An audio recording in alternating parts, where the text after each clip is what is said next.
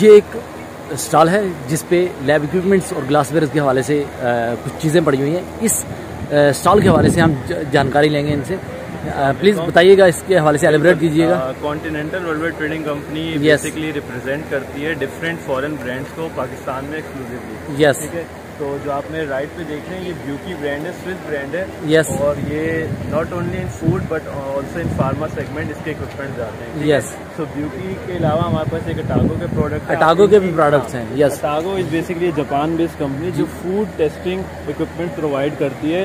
अगर है। आपको रिफ्लेक्टोमीटर्स चाहिए आपको पोलैरीमीटर्स चाहिए आपको फ्राइंग ऑयल मोनीटर्स चाहिए यस सारे आपको अटागो में की ही प्रोडक्ट रेंज में मिलेंगे। यस ठीक है? तो आपके पास अभी इस स्टॉल पे कौन कौन से मौजूद है? एलिब्रेट कर पहल, सकें। पहल की सीरीज़ का एक पूरा ब्रीफ केस है। ये हर इक्विपमेंट डिफरेंट पर्पज के लिए यूज़ होता है। ठीक है। अगर आप इसकी बात करें तो यहाँ पे मैंने जैम प्लेस किया हुआ है। जैम प्लेस जैम जैम में आप स्वीटनेस फाइंड करते हैं। ठीक है? Sweetness is basically a brix ठीक है? ब्रिक्स तो जब आप ब्रिक्स आपने जैम इस पे रखा और आपने स्टार्ट 65.9 आ गई है तो इसकी वैल्यू आ जाएगी। सिंपल टू ऑपरेट है प्रिज्म के ऊपर आपने प्रोडक्ट रखा स्टार्ट का बटन प्रेस कर दिया।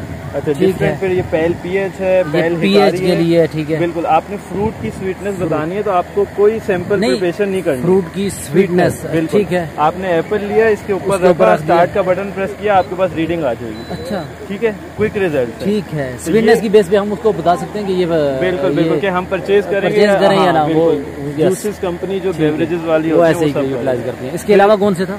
हाँ ये सारे यही रेंज इसी रेंज में ठीक है।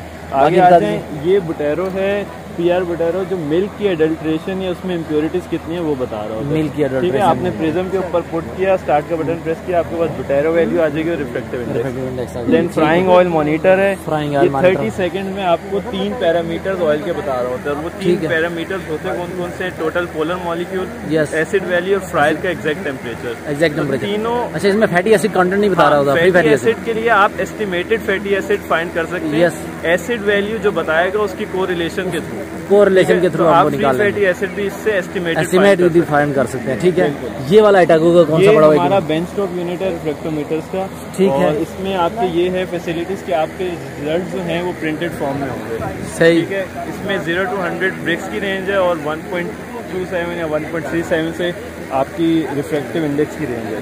तो ये। बेंच टॉप है ठीक है। बाकी हमारे ये बाकी आपके पास ये ग्लास वेयर्स हैं। ग्लासवेयर को रिप्रेजेंट करते हैं इवाकी को रिप्रेजेंट करते हैं ठीक है। Iwaki is a Indonesia brand और certified volumetric glassware with batch certificate हम लोग प्रोवाइड करते हैं। सही। ठीक है जिसकी ट्रेसेबिलिटी भी है आप लोग ऑडिट वगैरह में भी उसको यूटिलाइज कर सकते हैं यूज़ कर सकते हैं। Okay thank you okay nice meeting you